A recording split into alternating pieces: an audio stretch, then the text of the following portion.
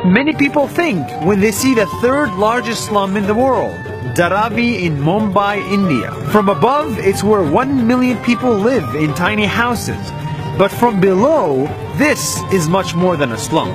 It's a place that generates $650 million every year. It's where I saw a huge recycling business, pottery business, leather, and garment business. This product was made in Dharavi, not Milan, not New York, or Paris. Here, I struggled to find someone who was not working.